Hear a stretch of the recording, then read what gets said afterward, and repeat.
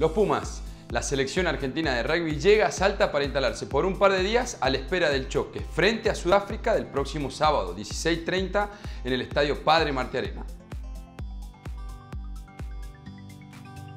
Si todavía no compraste tu entrada, lo puedes hacer en el Alto Nueva Shopping, en la Unión de Rugby de Salta, en la Avenida Uruguay al 300 o si no en Musimundo. El precio de las localidades va desde los 200 las populares, 300 las preferenciales 500 pesos las plateas eh, laterales y 750 pesos las plateas centrales.